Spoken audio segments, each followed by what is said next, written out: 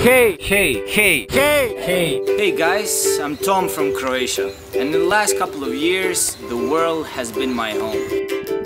I travel, I hitchhike, cars, trucks, horses, motorcycles, boats. I drove in buses, trains, rickshaws. I worked odd jobs. I spent time with locals. I volunteered. I became a monk. Just kidding. I sailed across the Indian Ocean. I tried things that I never tried before. I've seen things that I will remember as long as I live. And all that with almost no money.